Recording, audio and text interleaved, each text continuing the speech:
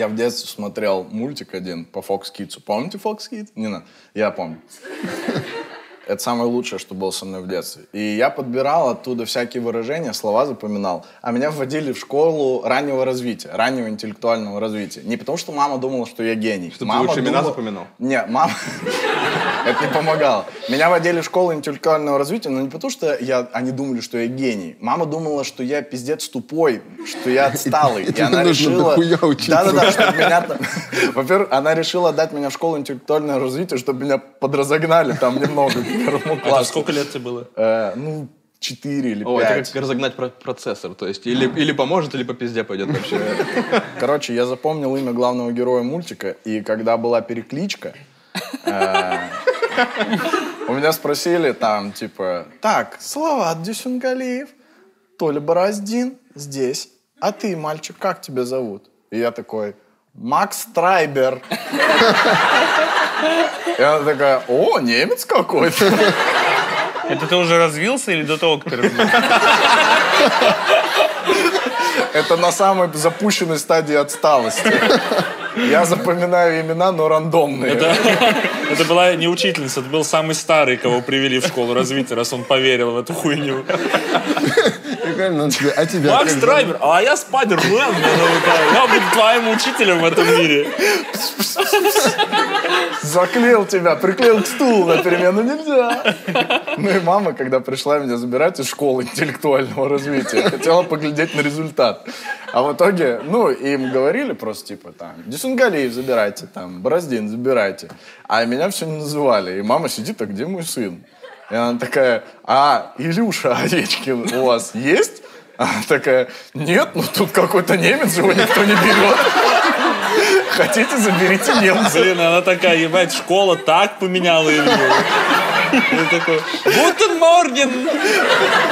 Мама подумала, я еле успел закончить поменять имя, за границей поучиться. Мам, я теперь Макс Трайбер. И мама говорит, а кто остался?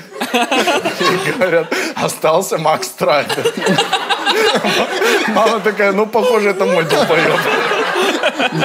Прикольно, если там кто остался. У нас остались Макс Трай, Лунтик и, Винни-Пух. Та такая, ну я не знаю, какой мой. Или маме говорят, так, у нас остались э, Винни-Пух, Спайдермен, Макс Трайбер, Илья Овечкин. Мать такая, Макс Трайбер. И там, и там ты выходишь, а такая, блядь. Почти получил. Ну, короче, меня отнесли домой.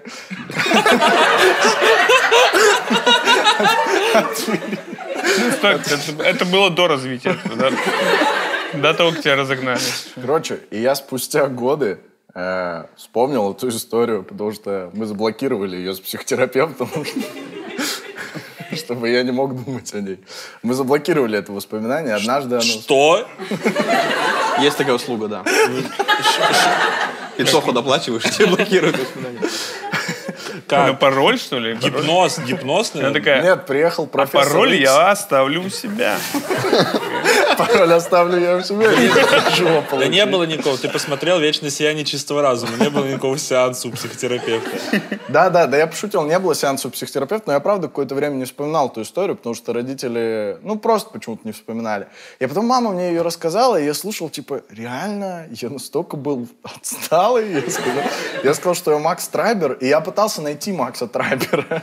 И я нашел несколько страниц на Фейсбуке Макс Трайбер, но это были обычные люди, не супергерои, просто чуваки где-то из Баварии. Э, И я, короче, искал, искал. Макс Трайбер, шоу на Fox Kids. Макс Трайбер. Э, Все зна- поискал, может, в Человеке-пауке был такой персонаж, что в Человеке-пауке не было не Трайбера. было. И оказалось, что был... Да я знаю. И оказалось, что был мультик. Masked Rider. То есть я, блядь, еще и чужое имя называл. Нет никакого Макса Трайбера. Есть Masked Rider.